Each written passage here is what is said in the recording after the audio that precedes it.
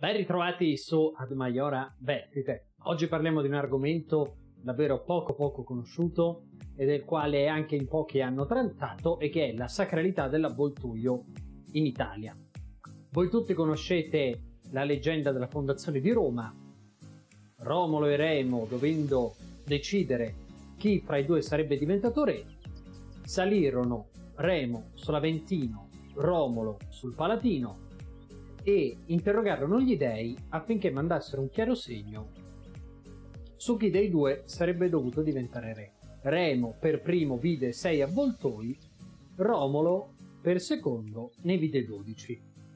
Ma esiste l'avvoltoio in Italia? Gli avvoltoi che esistono in Italia appartengono al gruppo degli accipi 3D, che sono una categoria di eh, uccelli mh, mm, all'interno dei quali sono inseriti appunto tutti quanti gli avvoltoi. Io già lo so che Willy di Zoo Sparkle mi ucciderà. Gli accipi 3D vanno distinti dai Condor, che sono gli avvoltoi del nuovo mondo e che appartengono alla famiglia dei catartidi. Ora, il fatto che i condor, per semplificare, e gli avvoltoi siano molto simili morfologicamente è solo frutto di una convergenza evolutiva non hanno alcuna caratteristica che li assimili tra di loro. Un avvoltoio ha più in comune con un'aquila che non con un condor.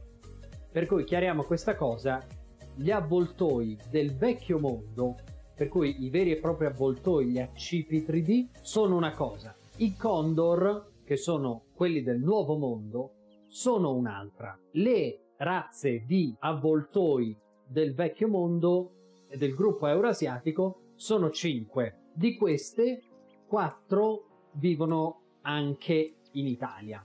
Gli avvoltoi considerate che hanno degli areali abbastanza vasti. In Italia vivono l'avvoltoio monaco, cioè l'Aegipius monacus, il grifone eurasiatico, il Gips fulvus, il capovaccaio, madonna che nome che c'ho visto, io scusate lo devo leggere, il Neofron Percnopterus e il Gipeto e il Gipetus barbatus. Queste quattro tipologie di avvoltoio comunque non sono sempre state in Italia. Nella storia recente una buona parte di questi si sono estinti, ad eccezione del capovaccaio che ha continuato a frequentare l'area della Sardegna, delle isole, soprattutto per eh, a fini di nidificazione, mentre invece le altre tre specie si erano estinte. Sono state in parte reintrodotte con un progetto a partire dal 2013, mentre invece l'avvoltoio monaco è ritornato di propria spontanea volo- volontà nel nord Italia frequentando alcuni laghi alpini. Vi faccio le mie scuse perché non sono riuscito ad indagare ulteriormente l'aspetto archeozoologico di questi uccelli, per cui non vi so dire esattamente quale fosse la distribuzione nell'Italia antica. Però posso darvi per certo che in Italia, all'epoca della fondazione di Roma, esisteva una di queste due razze che vi sto per dire di avvoltoi.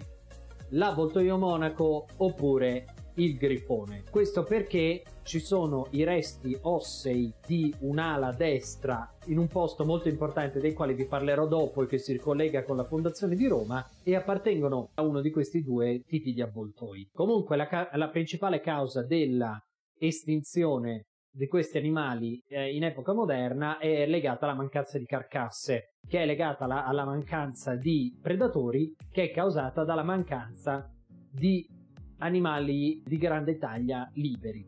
Infatti gran parte degli animali di grossa taglia sono concentrati negli allevamenti e questo appunto limita eh, il principale nutrimento dell'avvoltoio. Infatti l'avvoltoio è un animale saprofago, è caratterizzato da avere da una testa tendenzialmente calva, è un animale di grosse dimensioni, considerate che l'avvoltoio monaco arriva ad essere alto 1,10 m con un'apertura alare che arriva quasi a 3 metri di ampiezza, per cui è una bestia gigantesca. Si nutrono, essendo saprofagi, appunto, di carcasse, animali morti.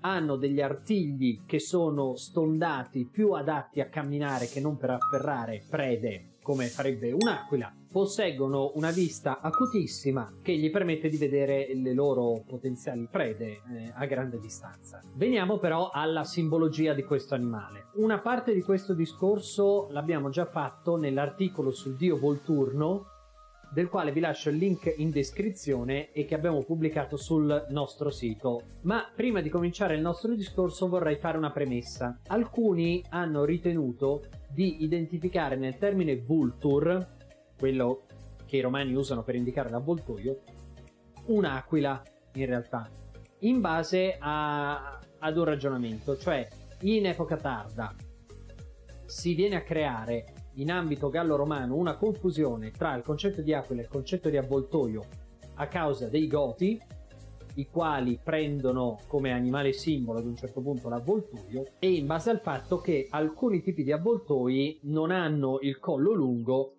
ma eh, ce l'hanno abbastanza incassato e quindi si possono confondere guardandoli volare con un'aquila. Questo argomento però, secondo me, nella realtà può essere eh, fuorviante, anzi eh, dimostrerebbe esattamente l'opposto, cioè se prendiamo atto di un'ipotesi che è anche plausibile, cioè che i romani considerassero vultur, cioè avvoltoio, tutti gli animali che hanno la forma di un avvoltoio, per semplificare, e per aquila tutti gli animali che hanno la forma dell'aquila, allora dovremmo dire al contrario che per vultur i romani intendono proprio l'avvoltoio che ha il collo lungo, mentre invece per aquila avrebbero potuto intendere anche due avvoltoi. Ma torniamo alle romanes questiones. L'origine del termine vultur, avvoltoio in latino, è abbastanza discussa. Superate, diciamo, le ipotesi originali che, originarie che lo ricollegavano al verbo volo, si è proposta un'origine indoeuropea di questo termine, che verrebbe dalla radice vul, che deriva dalla radice vuel, che significherebbe strappare, tagliare, dai quali verrebbe infatti anche, verrebbero infatti anche i termini latini vulnus, cioè ferita, e vulsum, strappato. A questa radice comunque corrisponderebbe anche la radice indoeuropea well, che ha vari significati tra i quali anche volgere, girare intorno, ma anche vertere, percepire, accorgersi, da cui anche vertite, che no, parte del nostro nome. Vertere da cui a sua volta deriva anche vultus, viso. L'origine indoeuropea di questo termine ha però trovato un ostacolo nell'ipotesi dell'origine etrusca.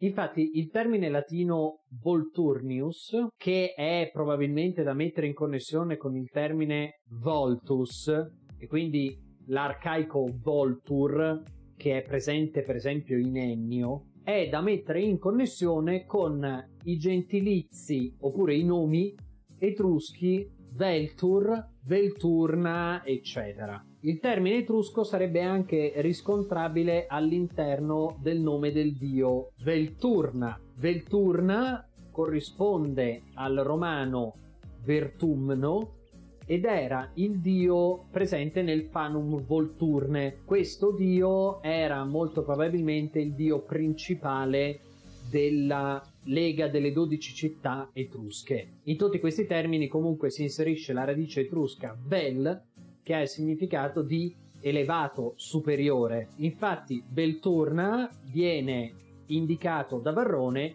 come il dio principe dell'Etruria. Sono riuscito a bruciare la cena, mannaggia.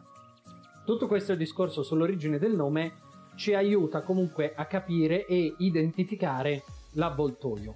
Soprattutto questa identificazione con questa divinità etrusca ci aiuterà a comprendere, successivamente, il suo ruolo anche all'interno della religione romana. Voi sapete che gli Etruschi hanno influenzato profondamente la religiosità romana, soprattutto quella delle origini. L'avvoltoio era già noto in antichità per il fatto che si nutrisse di carcasse. Questo aspetto qui ha generato sia simboli positivi che negativi. A dire la verità, l'interpretazione negativa ha eh, un solo valore, che è lo stesso che gli diamo noi oggi, cioè sei un avvoltoio. Proprio con questo spirito Seneca, nelle lettere a Lucilio, in riferimento a uno che sta- stava aspettando che il vecchio morisse per fregargli l'eredità, dice- gli diceva sei un avvoltoio. Tutti gli altri aspetti sono invece in qualche modo positivi. Innanzitutto una leggenda voleva che l'avvoltoio si recasse nei luoghi delle battaglie una settimana prima e che vi girasse intorno delimitandone i confini. Inoltre volava nella direzione dell'esercito che sarebbe stato sconfitto. Non solo, un'altra leggenda diceva che gli avvoltoi si posassero sulle case tre giorni prima che lì vi, mo- vi, morisse qualcuno. Fra l'altro, questo elemento qui è condiviso anche dal corvo. Tutti questi dettagli fanno sì che all'avvoltoio si dia un valo- una capacità divinatoria di visione del futuro e l'aspetto di delimitazione del campo anche come uccello di confine. Questa cosa noi la troviamo molto spesso negli uccelli psicopompi. Si dice psicopompa, una divinità, un'entità un simbolo, eccetera, eccetera, eccetera, che facilita alle anime il trapasso dal mondo dei vivi al mondo dei morti, traghettandole. Tra l'altro, in questo aspetto divinatorio, oltre a comparire a Romolo e Remo, come vi avevo già detto, una notizia di Svetonio è anche che sia comparso a Ottaviano Augusto nel momento in cui trasse gli auspici per il suo primo consolato c'è una puzza di bruciato qua dentro. A proposito di funzione psicopompa, è molto interessante l'esempio degli Iberi. Questo popolo che abitava nell'isola iberica, per l'appunto, il quale metteva in prima deposizione il defunto eh, alla mercé degli avvoltoi, proprio in funzione di uccello psicopompo. Un esempio simile lo troviamo in Tibet con la cosiddetta sepoltura celeste, dove anche in questo caso il defunto veniva posto in un luogo apposito dove gli avvoltoi andavano e ne mangiavano le carni, invitati dai sacerdoti. Un altro esempio del fatto che forse anche nell'ambito romano l'avvoltoio aveva un valore psicopompo la troviamo in Plinio, che ci riporta una notizia secondo la quale nessuno aveva visto i suoi nidi e perciò si riteneva che l'uccello venisse direttamente dall'altro mondo, Tuttavia poi gli stessi romani hanno scoperto che invece faceva i nidi in luoghi arrampicati, ma è un riferimento interessante. Un'altra simbologia lo legherebbe alla purificazione, perché la tradizione vuole che gli avvoltoi facessero 13 uova e di queste una la rompessero e usassero l'interno per purificare le altre 12. Vedete che anche qui ritorna la questione del numero 12, i 12 avvoltoi, questo aspetto del 12 noi lo troviamo spessissimo all'interno della tradizione romana. I 12 littori, i 12 ancili, cioè l'ancile originario, lo, lo scudo bilobato che Marte inviò al popolo romano, più le 11 copie fatte da Mamurio Veturio. Molto probabilmente tutti questi numeri hanno un riferimento temporale. Riferimento temporale al, ai mesi dell'anno, tanto è vero che per esempio Mamurio Veturio viene venerato l'ultimo giorno dell'anno sacro, durante il quale viene scacciato in qualità di anno vecchio. E il giorno successivo si festeggia Anna Perenna, per cui la rinascita dell'anno. I 12 avvoltoi sono poi stati anche interpretati già ai tempi di Varrone che stavano a significare 120 anni di pace dalla fondazione della città e 1200 anni di vita per il popolo romano. Questa cosa della previsione della fine dei popoli non ci deve stupire. La ninfa Vegoia aveva previsto che gli Etruschi sarebbero durati 8 secoli e così è stato.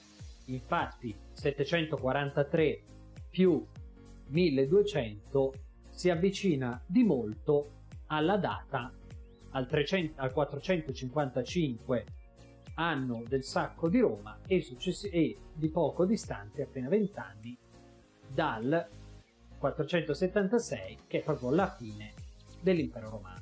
L'avvoltoio nel mondo romano compare anche come manifestazione della vendetta divina. Noto è il mito di Tizio, il quale, dopo aver tentato di violentare la tona, Zeus lo punisce cacciandolo nel, nel, Tartaro e lì due avvoltoi gli mangiano il fegato. È un mito greco naturalmente, ma che noi ritroviamo anche a Roma. Similmente, una delle varianti del mito di Prometeo vuole che Zeus invii un avvoltoio e non un'aquila a mangiargli il fegato e precisa che questo è per punirlo de- per la sua invidia e per lo sfarzo. Vi sono poi anche altri esempi in cui l'avvoltoio viene utilizzato, questa volta sì, nel mondo strettamente romano, come manifestazione della, della, vendetta divina, augurando al malvagio di turno che un avvoltoio gli strappi il cuore mangiandoselo. Ora, perché mai un animale con questa simbologia dovrebbe comparire fra gli altri simboli dell'avvoltoio vi è anche la capacità di scacciare i mali. Si dice che bruciandone le piume, le penne, anzi, anche qui Willy mi ucciderà, si potessero scacciare i serpenti. Indossando invece un cranio di avvoltoio, si può allontanare i serpenti da sé, impedire ai ladri di avvicinarsi,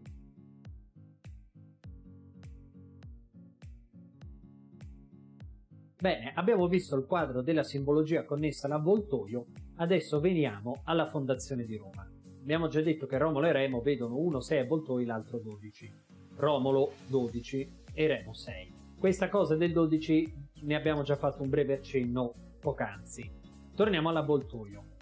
I due invocano Giove, ovviamente per trarre gli auspici, perché questo prevedeva il rito. E quindi è Giove che manda questi uccelli e che invia questi avvoltoi. Secondo Ferri è possibile che il Giove etrusco sia identificabile con Vertumno, cioè Veltumna, in base alla radice Vel di cui vi ho parlato all'inizio del video. Perciò ipotizza l'esistenza di un Tinia, Tinia è il nome del Giove etrusco, Veltumna, e che poi sarebbe stato venerato come divinità indipendente nel Fanum Volturne. La stessa posizione è sostenuta anche da Tamburini, che aggiunge che secondo lui questa doveva essere una divinità degli inferi. Nell'articolo su Volturno abbiamo argomentato della vicinanza linguistica, simbologica e, ehm, e di caratteristiche tra Vertunno e Volturno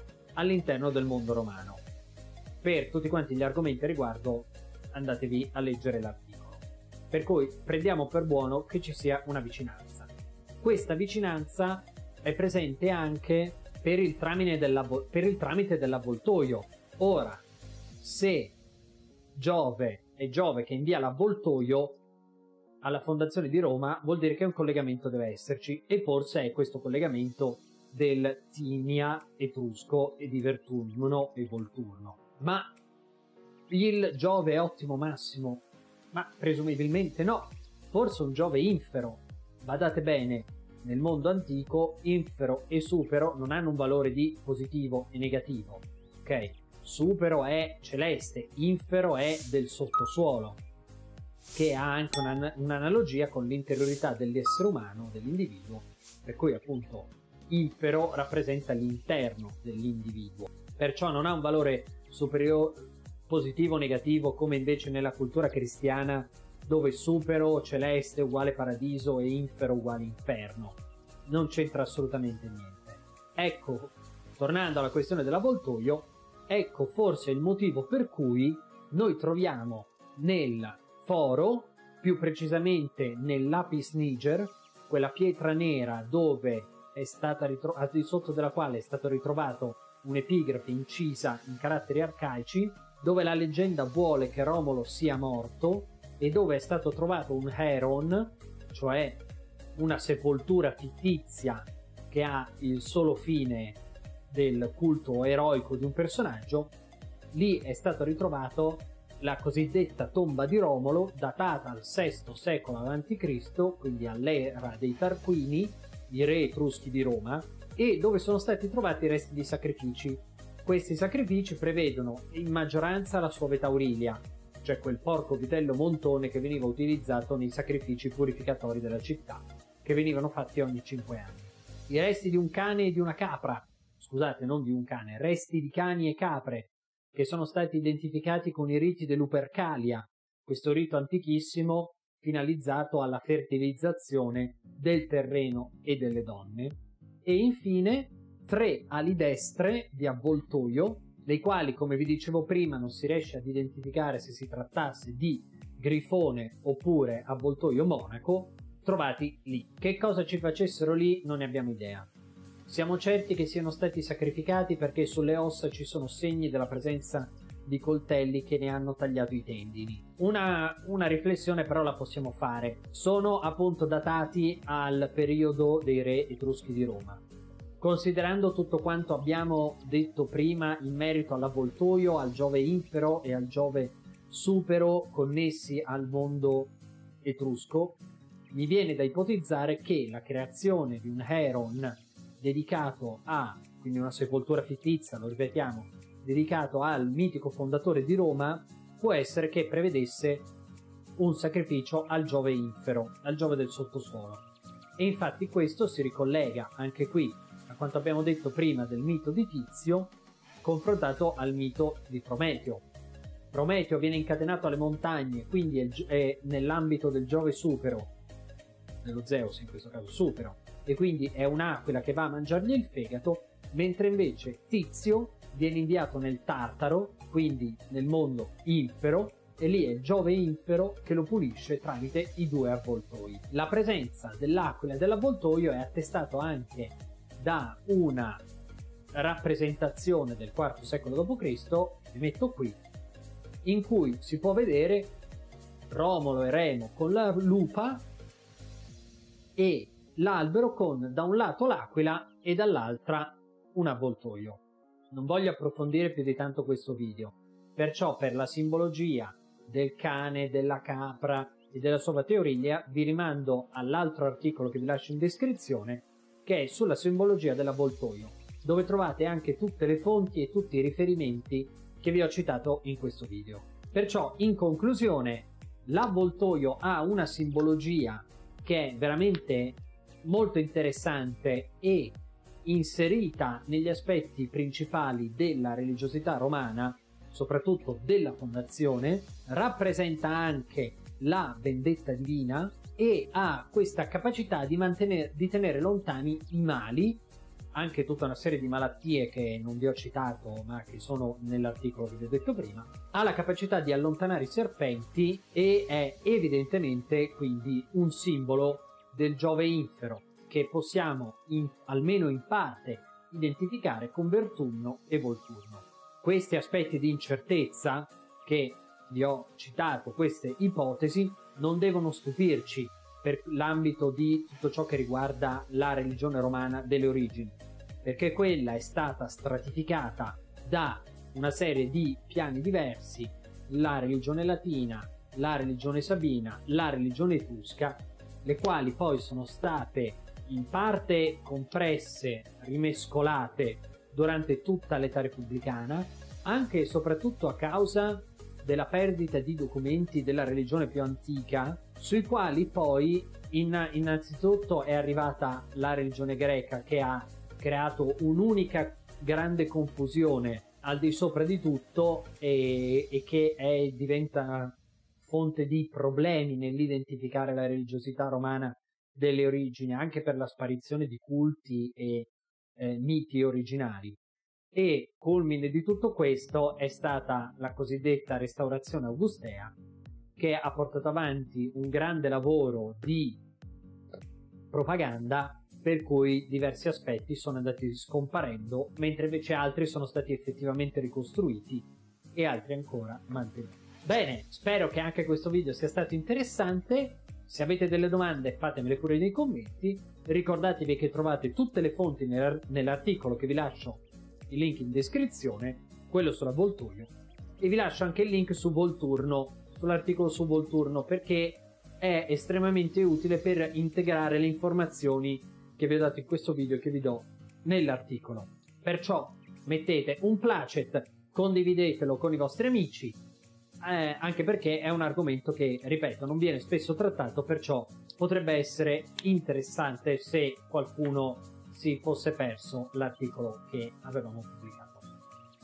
Va bene, allora niente, ci vediamo presto, valete ottime in pace de orum.